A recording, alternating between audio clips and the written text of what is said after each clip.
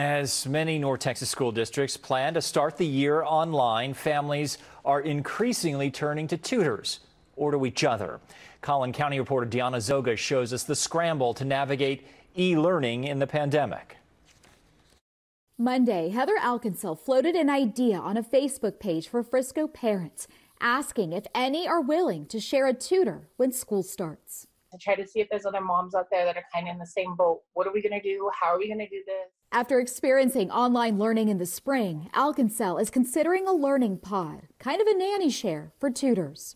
Maybe a group of five or six sharing the expenses of school, maybe four hours a day, where they all can sit six feet apart. Something.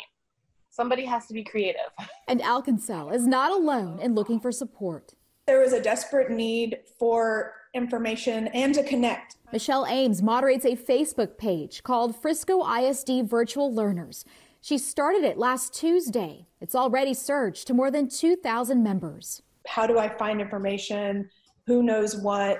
And more minds working together is better than each of us individually. For families of older students, David Dillard, president of KD College Prep, says he's seeing a new interest in tutoring as parents worry their kids could fall behind at a critical time.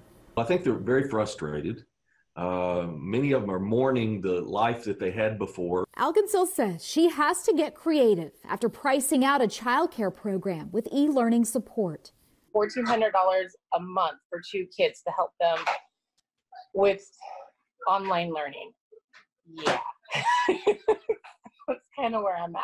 And for some families unable to afford any help with remote learning, the pandemic threatens to allow more kids to fall through the cracks. Deanna Zoga, NBC5.